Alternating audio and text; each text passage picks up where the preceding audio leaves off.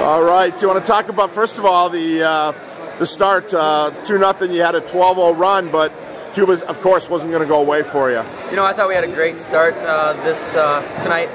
Uh, during the week, this practice, we came out every practice and just uh, played really hard. I thought we prepared really well for Cuba. They're a great team. You know, just Cuba is a physical team that you gotta you got to work in the weight room and you got to be prepared for them. And I thought we did that really well tonight. Yeah, they forced you outside. But you want to talk about this guy over here, your running mate, uh, Cy, on uh, kind of got things going with a couple of steals in the third quarter. Yeah, Cy did a heck of a job of attacking the rim tonight. You know, when we shots, we made our uh, outside shots in the early part of the game, but towards the end of the game when we weren't hitting them, Cy decided to uh, drive the rim, and I thought he did a really nice job.